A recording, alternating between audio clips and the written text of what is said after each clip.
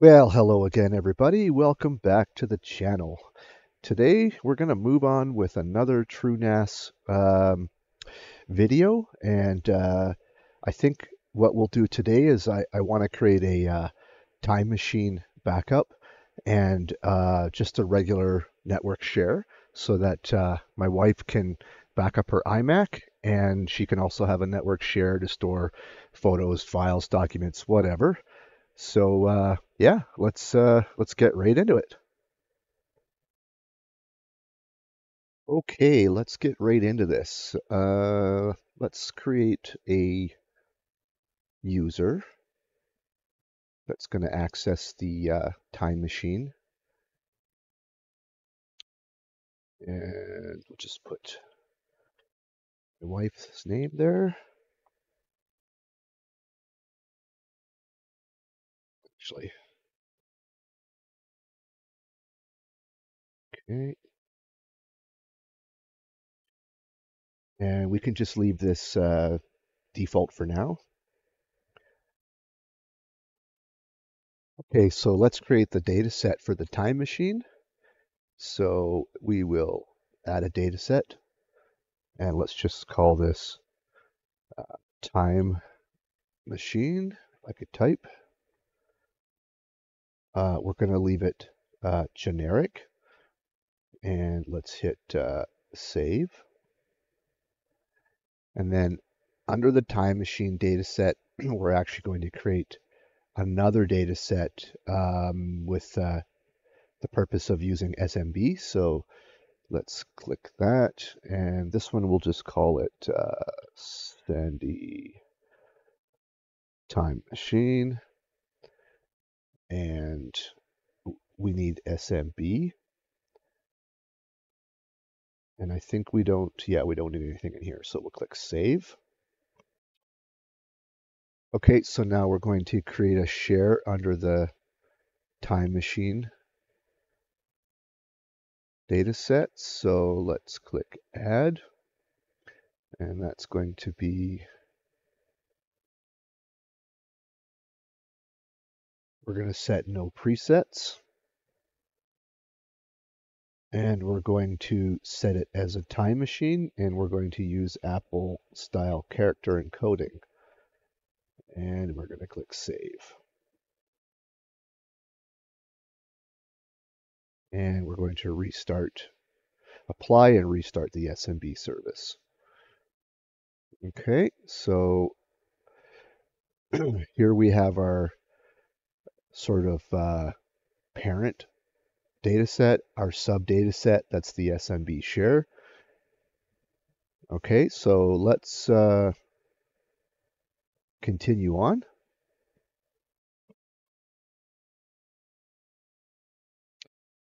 Okay, so my server has a dual port NIC, the 10 gig NIC.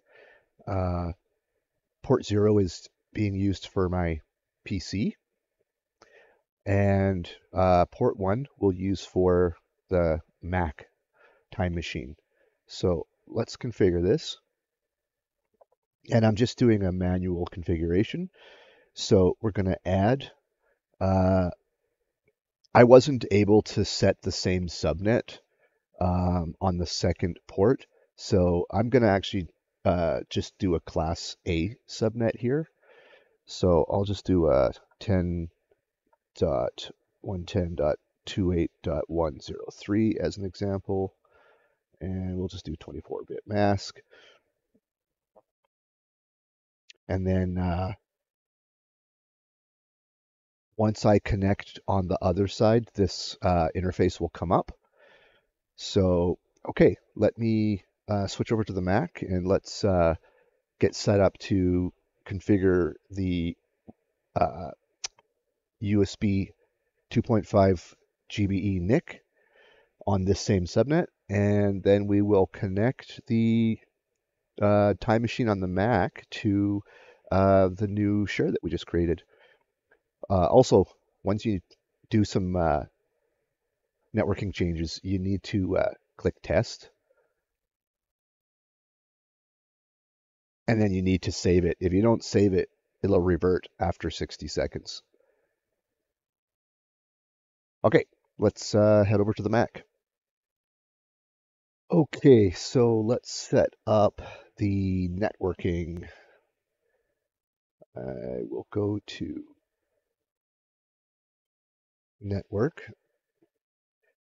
Uh, there's the USB dongle. I've just plugged it into the iMac a few minutes ago.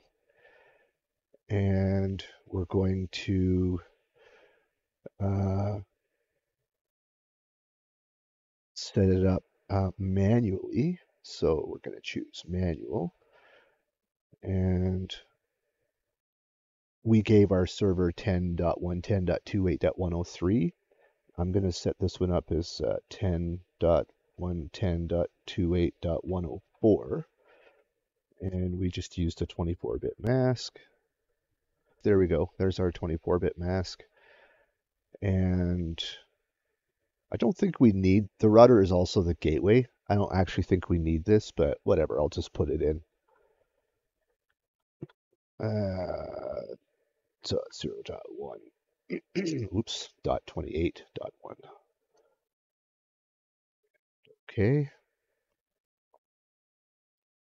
Okay, good. So we have the network set up. Okay, now that we have our USB NIC set up, um, I want to verify if it's actually connecting at 2.5G because when you click uh, under details and hardware, uh, the speed is just auto select. If I try to force it, uh, it doesn't seem to stick. So I don't know if it's just a glitch or what the story is, but we can actually go to uh, about this Mac, more info, and we'll go to system report. And let's check out uh, Ethernet. So here's the built-in NIC, and it's got a maximum link speed of 1 gigabit per second. Here's the USB, and it has a maximum link speed of 2.5. So I'm going to assume that we can run up to this speed, even though we can't see it uh, when we force it. Okay, so having said that, let's try and connect to the time machine. So that was under general, time machine, and let's add one. And okay, that's cool. There's the time machine. It's showing up. So let's set this up. And let's do the user credentials.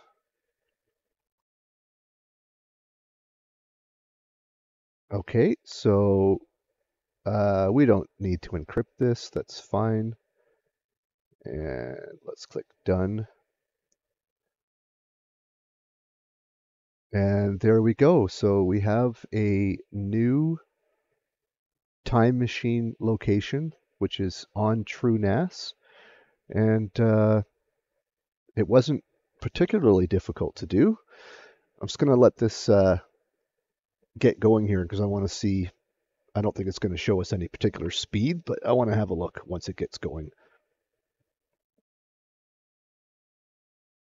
So actually, while this is connecting, see if we can uh, mount this share. Let's do uh, Command K.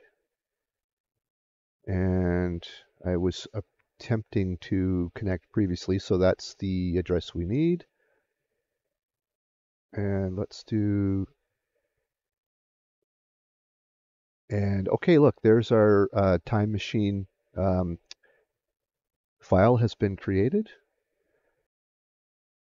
Okay, well, it's only been uh, just a few minutes, four or five, and it's got 1% done. So I think it's going pretty good.